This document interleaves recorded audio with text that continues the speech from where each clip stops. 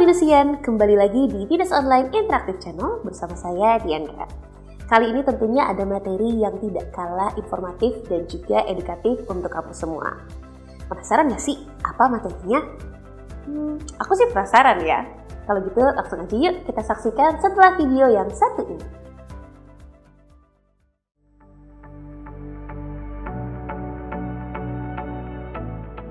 Halo, uh, perkenalkan saya Afifah Widodo Putri. Saya dari mahasiswa Binus Online Sistem Informasi dan saat ini saya bekerja sebagai salah satu ASN di instansi pemerintahan. Um, kebetulan uh, saya baru banget join di Binus Online, baru sekitar sebulanan uh, belum ada begitu peningkatan signifikan, tapi saya udah belajar banyak. Contohnya salah satunya adalah manajemen waktu yang di mana itu terpakai juga di uh, dunia kerja.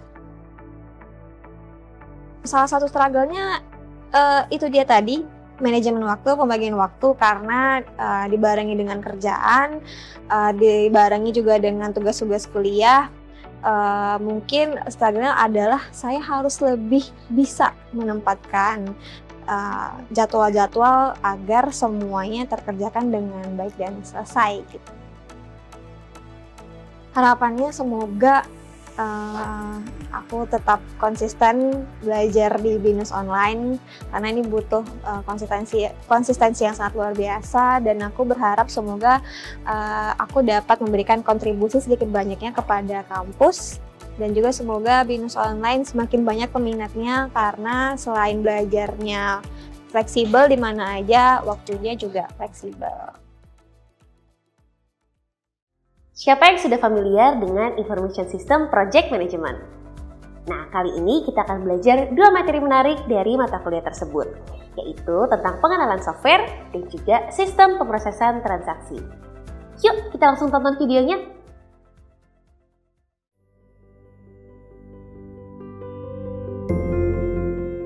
Hai hai, jumpa lagi dengan saya Rian pada IS General dan Within Organization Kali ini kita akan membahas mengenai pengenalan perangkat lunak atau software. Rasanya tuh nggak aneh ya dengan kata perangkat lunak atau software, ya kan?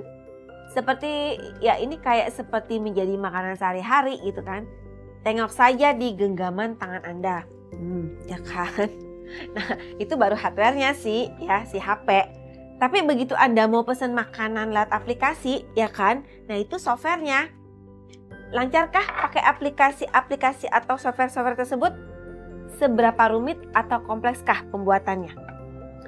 Semakin ke sini tuh software semakin canggih ya rekan-rekan ya. Kompleksitas perangkat lunak yang terus meningkat juga meningkatkan potensi kesalahan atau bug. Aplikasi besar saat ini mungkin berisi jutaan baris kode komputer yang ditulis oleh ratusan orang selama beberapa tahun. Dengan demikian, potensi kesalahan sangat besar dan pengujian serta debug perangkat lunak mahal dan memakan waktu. Terlepas dari tren keseluruhan ini, meningkatnya kompleksitas, biaya, dan jumlah cacat atau error, perangkat lunak telah menjadi fitur sehari-hari dalam kehidupan bisnis dan pribadi kita. Pemeriksaan perangkat lunak Anda dimulai dengan definisi beberapa konsep dasar.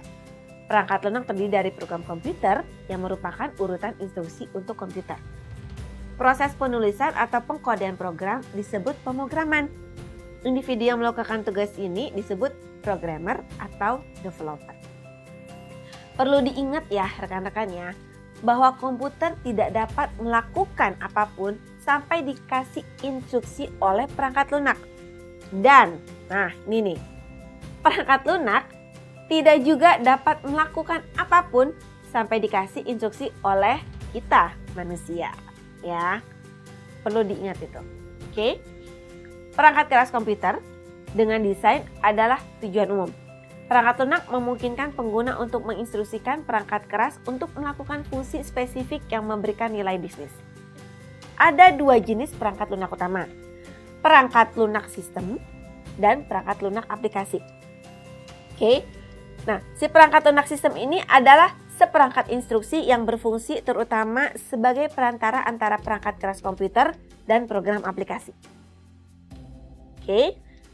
Perangkat lunak sistem memungkinkan sistem komputer untuk melakukan fungsi pengaturan sendiri dengan memuat dirinya sendiri saat komputer pertama kali dihidupkan dan menyediakan set instruksi yang umum digunakan untuk semua aplikasi. Pemrograman sistem mengacu pada pembuatan dan pemeliharaan perangkat lunak sistem. Perangkat lunak aplikasi adalah seperangkat instruksi komputer yang menyediakan fungsionalitas yang lebih spesifik kepada pengguna. Fungsionalitas ini mungkin uh, luas ya, seperti pengolah kata umum atau sempit seperti program penggajian organisasi. Tapi pada dasarnya, program aplikasi menerapkan komputer untuk kebutuhan tertentu. Pemrograman aplikasi mengacu pada pembuatan, modifikasi, dan peningkatan perangkat lunak aplikasi. Perangkat lunak aplikasi mungkin merupakan hak milik atau tidak tersedia. Seperti yang Anda lihat ya, organisasi modern menggunakan banyak aplikasi perangkat lunak yang berbeda. Program yang terkandung dalam perangkat uh, lunak sistem mengontrol dan mendukung sistem komputer dan aktivitas pemrosesan informasinya. Perangkat lunak sistem juga peng, membantu pengguna dan personal IT memprogram, menguji, dan mendibak program komputer mereka sendiri. Program perangkat lunak sistem mendukung perangkat lunak aplikasi dengan mengarahkan fungsi dasar komputer. Misalnya, saat komputer dihidupkan, ya, program inialisasi atau program sistem menyiapkan dan menyiapkan semua perangkat uh, untuk diproses. Contohnya apa? Contohnya untuk ini adalah sistem operasi. Nah, kalau perangkat lunak aplikasi atau software application itu dapat dikembangkan sendiri oleh kita-kita. Ya, kita sebagai pribadi, kita sebagai vendor, atau kita sebagai pegawai IT ya untuk bikin aplikasi. Dan aplikasi ini tuh bisa standar, bisa juga custom. Contoh gampangnya kalau buatan organisasi besar itu ya seperti Microsoft Office. Kalau sebelumnya saya pernah bilang itu Canva ya, itu udah kebayang langsungnya. Kalau kita bikin sendiri itu yang gampang-gampang ya seperti website atau kita ngeblok gitu ya. Oke, contoh lain dari perangkat lunak aplikasi ini misalnya seperti LMS, Learning Management System, ya punya suatu uh, university atau Turn It In. Nah, itu dia software untuk pengecekan plagiarisme paper atau jurnal. Tapi kalau orang-orang ngomongnya Turnitin ya. Oke. Okay. Oh ya, uh, ngomongin seputar software, berarti ngomongin juga isu-isunya, ngomongin juga lisensinya, terus dia berbayar apa enggak gitu kan, cara pakainya, fungsinya itu sangat membantu keseharian kita apa enggak gitu loh. Nah, itu nanti semuanya akan dibicarakan di kelas masing-masing sesuai dengan mata kuliahnya ya. Oke, sip. Semoga pembicaraan uh, yang ini nih nanti terfasilitasi ya. Karena kalau untuk di video ini ya cukup sampai sini gitu ya. Terima kasih. Selama 15 tahun Binus Online berkarya, Binus Online senantiasa memberikan pengalaman belajar bagi mahasiswa dengan memanfaatkan teknologi untuk mengakses informasi, koneksi, serta ilmu untuk peningkatan karir. Dengan semangat untuk membina dan memberdayakan masyarakat melalui pembelajaran online. Binus Online menghadirkan 15.000 konten pembelajaran untuk Nusantara melalui online.binus.ac.id slash digital content.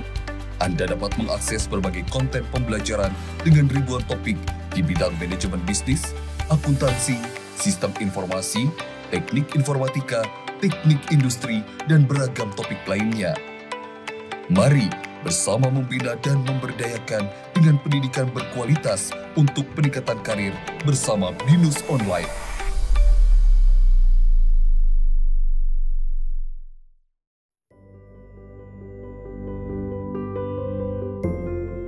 Hai, pada sesi ini saya akan men-sharingkan sebuah topik yaitu sistem pemrosesan transaksi. Tetap dengan saya, Rian. Ya. Mengapa kita membicarakan ini? Yuk, kita bahas bareng-bareng.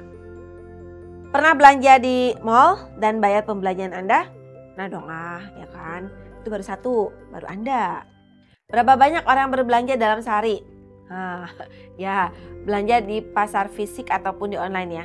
Jutaan orang ya, rekan-rekan ya. Itu dalam sehari dan di Indonesia ya. Bagaimana di dunia dalam sehari? Dalam sepekan, dalam sebulan, setahun. Wah, berapa banyak transaksi yang terjadi? Nah, nah, oke udah mulai kebayang ya. Oke, so sampai dengan sekarang sudah jutaan atau mungkin bahkan miliaran transaksi yang terjadi di mana-mana. Termasuk tentunya ya pastinya di organisasi-organisasi ya, baik itu besar maupun dia kecil. Oke. Jadi transaksi itu adalah peristiwa bisnis apa pun yang menghasilkan data yang layak ditangkap dan disimpan dalam database. Tapi transaksinya itu nggak cuma belanja itu ya rekan-rekan ya. Ada yang lain dan banyak gitu loh. Ada penyewaan, terus ada cek gaji, terus transfer ini, transfer itu gitu kan. Apalagi nih yang berasa generasi sandwich ya. bayar ini, bayar itu ya kan. Nah itu sebenarnya itu semua adalah transaksi bisnis. Oke. Sistem pemrosesan, pemrosesan transaksi atau Transaction Processing System atau disingkat dengan TPS ya bukan tempat pemungutan suara ya rekan-rekan ya. Dia ini mendukung pemantauan, pengumpulan, penyimpanan, dan pemrosesan data dari transaksi bisnis dasar organisasi yang masing-masing menghasilkan data. TPS mengumpulkan data secara terus-menerus. Biasanya dalam waktu nyata ya, yaitu segera setelah data dihasilkan dan menyediakan data input untuk database perusahaan.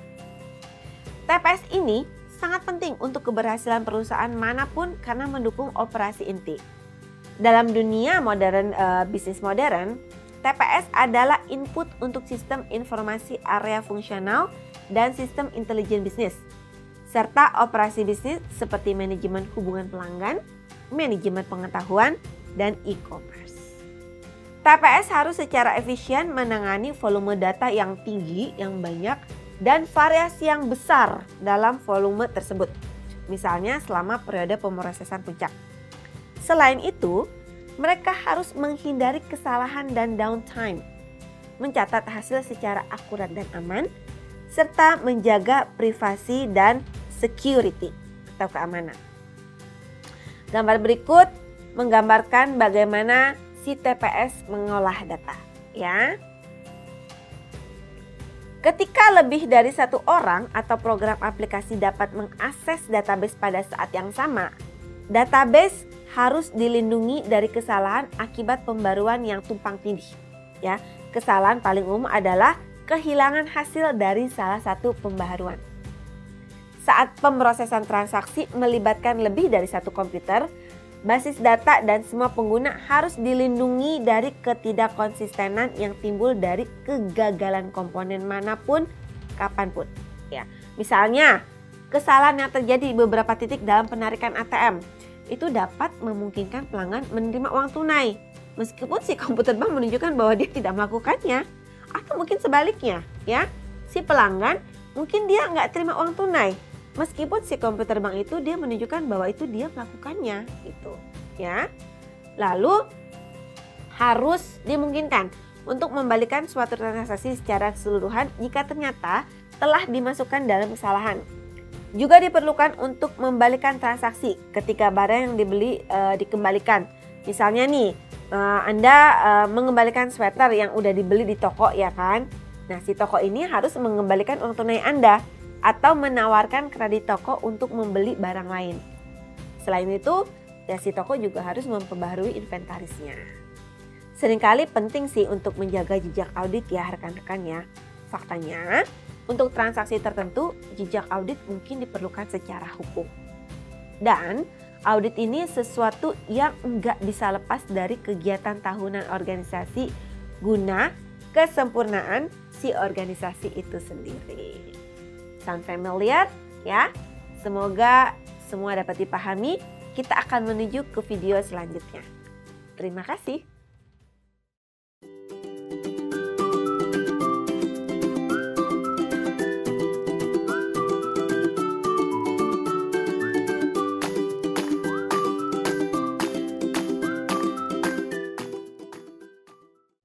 Nah, Venusian, udah nonton kan videonya?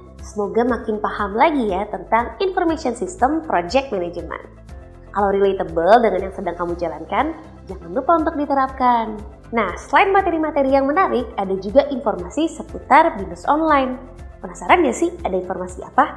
Yuk kita saksikan lewat video yang satu ini.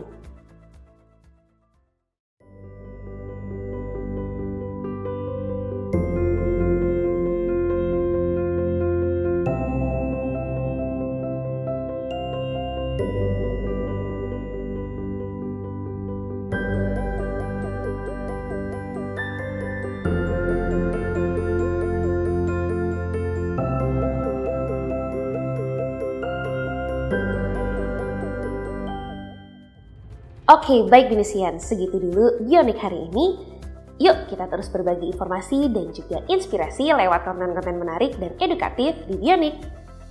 Jangan lupa juga untuk subscribe YouTube-nya Binus TV Channel. Di situ kamu bisa lihat semua episode Bionik. Jangan lupa tontonin dan jangan lupa pantengin terus di hari Selasa jam 1 siang.